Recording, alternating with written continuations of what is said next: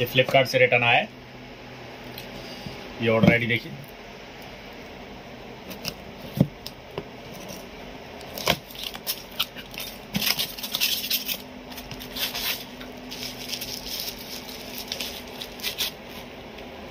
ओहो damage product है।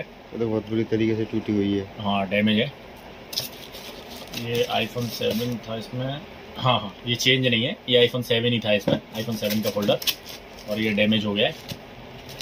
अब इसका क्लेम लेंगे। तो डिब्बा तो टूटा ही नहीं है। नहीं दब दबा के टूट जाता है कोई दिक्कत नहीं। हो जाता है। बंद कर दीजिए।